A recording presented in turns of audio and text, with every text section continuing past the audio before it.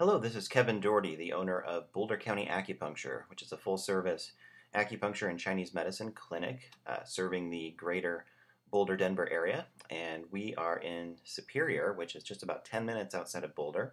And our practice focuses on treating stress related chronic health concerns such as anxiety, depression, uh, chronic digestive problems, chronic pain, uh, and any other kinds of chronic issues that may have not responded to conventional forms of healthcare.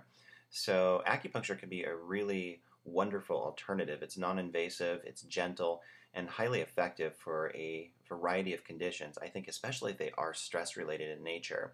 And then we use herbal medicine to really complement uh, and deepen the acupuncture treatment. And herbal medicine can really help on more of a nutritional level as well as help just more physiologically, where the acupuncture tends to help with more stress, emotions, and energy balancing. So if you have any questions, you're welcome to give our office a call at 303 725 6208.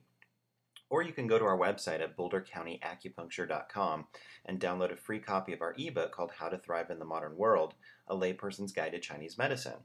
I hope this short video helps you to make an informed decision about your health care, and we look forward to uh, serving you in any way we can. Thanks so much.